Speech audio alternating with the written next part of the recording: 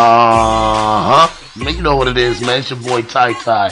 Yeah, the only Ty Ty. Sit here with Rudeboyz Artworks. I swear to God, they know what they doing, man. You gotta come get with it. They got custom airbrush t-shirts, backdrops, and they be painting on canvas. Yeah, painting on canvas. Come on, man. It ain't ain't nothing like you ain't never seen. I'm telling you.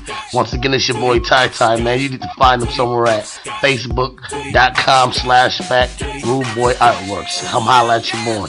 Uh huh.